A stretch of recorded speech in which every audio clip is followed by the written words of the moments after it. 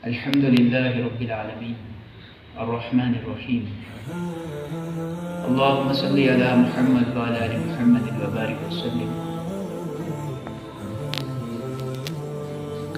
अल्लाह का एहसान है अल्लाह का फजल है अल्लाह ने दुनिया में हम सबको बगैर मांगे दुनिया में ईमान वाला बनाया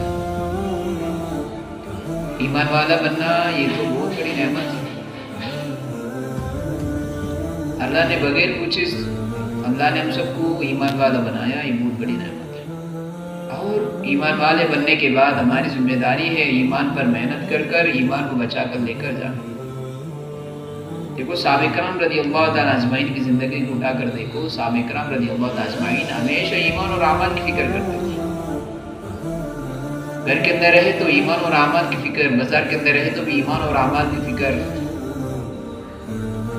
कहाँ भी रहे साबिकराम रदी अल्लाह तजमाइन ईमान और आमाल की फ़िक्र करते थे।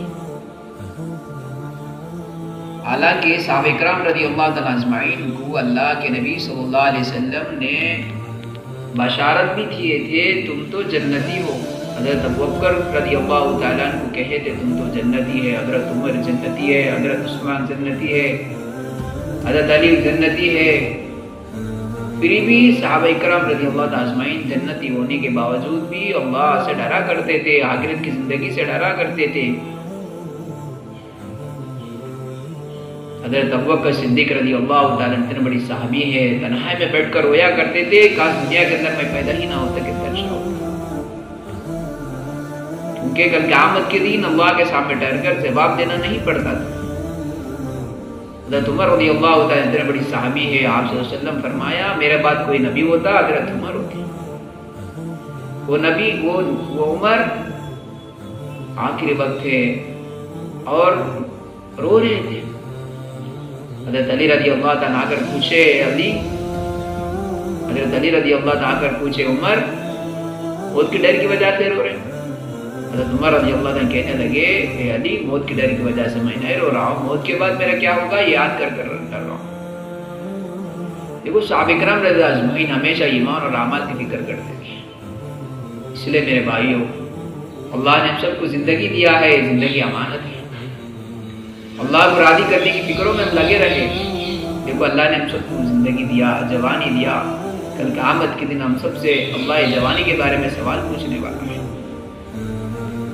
तो इसलिए हम इस जवानी को सही इस्तेमाल करें।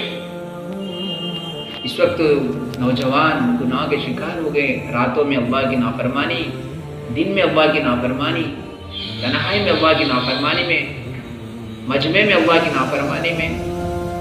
अपने आँख से गुनाह करने लगा, जबान से गुनाह करने लगा, कानों से गुनाह करने लगा। अल्लाह को भूल कर ज़िंदगी गुजारने लगे। एक वक्त आएगा मेरे नौजवानों कल कहामत के दिन हम सब अल्लाह के सामने टहकना है। ज़िंदगी का हिसाब देना है, अल्लाह ने कुरान में फरमाया, आप लोग यूँ समझ कर बैठे हो कि हमने तुमको यूँ ही बेकार पैदा करे। नहीं नहीं, दोबारा फिर हम आप लौट कर आना है हमारे पास, सारी ज़िंदगी का हिसाब देना है। इसलिए हम आखिरत की ज़िंदगी से डरे, अल्लाह से डरे। देखो, ये साठ सत्तर साल की ज़िंदगी है। हम अल्लाह के सामने ठहर कर ज़िंदगी हिसाब देना है। उस दिन हिसाब, जिस दिन हिसाब देंगे अल्लाह के सामने हम, उस दिन कोई हमको रिश्तेदारी काम नहीं देगी माँ बाप साथ नहीं देंगे, दोस्त साथ नहीं देंगे, कोई हमको साथ नहीं देंगे। सिर्फ़ ईमान और अमाल हमको साथ देंगे। अल्लाह ने कुरान में फरमाया, जिसका नेकियों का पलड़ा भारी होगा, वही आदमी कामयाब होगा, और जिसका नेकियों का पलड़ा हो तो हल्का होगा, वो तो उसका नुकसान कर लिया।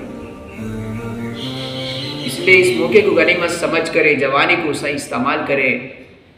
अल्लाह ने कुरान में फरमाया, ये मोमिन मर्द और औरतों, अपने आँखों नीचे झुका कर चला करो, अपने शर्म का हिफाजत करो। आज हमसे कितने नाफरमानी अल्लाह को हम करने लगे। इस आग से, इस जबान से, इस कानून से। इसीलिए हम अल्लाह से डरे। एक ज़िंदगी हम सबके सामने आने वाला है।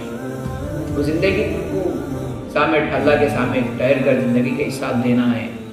इसलिए हम इस बात को फ़िक्र करें अल्लाह ने सबसे बड़े अहम हम सबको हुक्म दिया है नमाज़।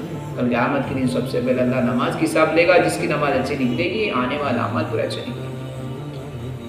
इसीलिए हम नमाज़ की पाबंदी करें, नमाज़ के अहतमाम करने वाले बने, अल्लाह को राज़ी करने की फिक्रों में लगे। हमारी ज़िंदगी दूसरों के लिए नमूना बने। इस तरह हम ज़िंदगी गुजारे, अपने माँ बाप को खिदमत करने वाले बने। माँ बाप अल्लाह के नबी फरमाया, माँ, बाप जन्नत के दरवाजों से एक दरवाजे माँ के कदमों के नीचे एक जन्नत है।